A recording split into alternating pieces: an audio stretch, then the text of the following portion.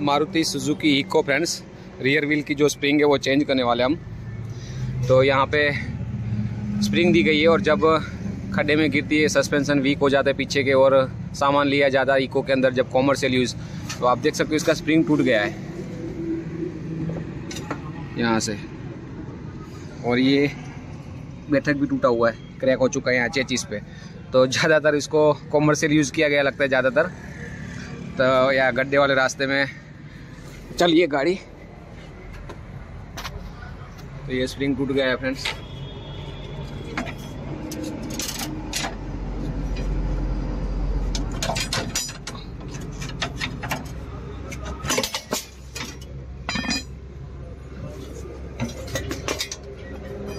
और ये चेचिस भी टूटा हुआ है।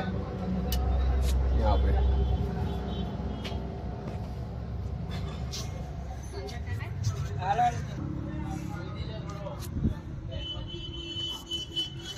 ये ऐसे तो स्प्रिंग नहीं टूटती है फ्रेंड्स लेकिन ये टूटा चुका है।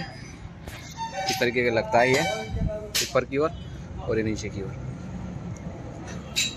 यहाँ से पिटता है। तो ये टूट गया है फ्रेंड्स स्प्रिंग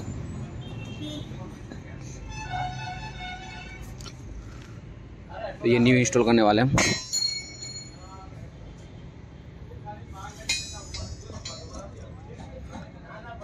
तो आपकी गाड़ी के अंदर पीछे के रियर सस्पेंशन वीक हो गए हो तो आप चेंज कर सकते हो ये। अगर ये सही नहीं रहेगा तो गाड़ी जब जितना जंप लेगी तो ये स्प्रिंग टूटने के चांस है और जितना है, उतना इसके अंदर आप सामान भरें ओवरलोड मत करें। जंपर तो एकदम फैल है। ये जंपर जब फैल हो जाता है, तभी स्प्रिंग टूटता है फ्रेंड्स मोस्ट ऑफली क्योंकि ये काम नहीं करता है तो गाड़ी स्प्रिंग पे ही घूमने वाला है। तो स्प्रिंग ज़्यादा मूवमेंट करेगा तो वो टूट जाएगा, क्योंकि वो हार्डनेस किया हुआ आता है। ये जंपर एकदम फ्री है। और यहाँ पे ये घिस चुका है। थोड़ा पार्ट चेचिस का आगे गया था। यहाँ पे इस तरीके का रहेगा ये घिसा हुआ है।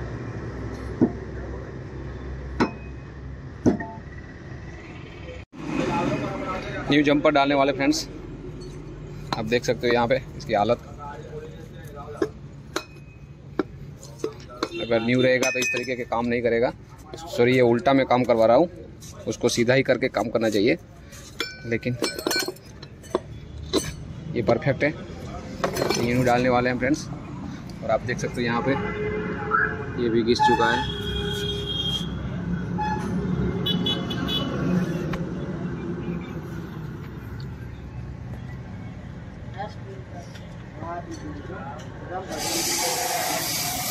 तो वो जो घसा हुआ है, वो यहाँ पे घसा हुआ है। इस जगह से। और ये निकल चुका ऑयल भी।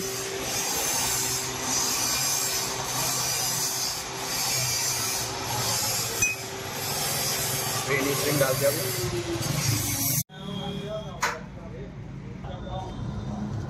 कंप्लीट फिटिंग हो चुका है फ्रेंड्स हमने ये जंपर भी लगा दिया, यहाँ एक बोल्ट रहता है, एक और एक बोल्ट ऊपर रहता है यहाँ पे.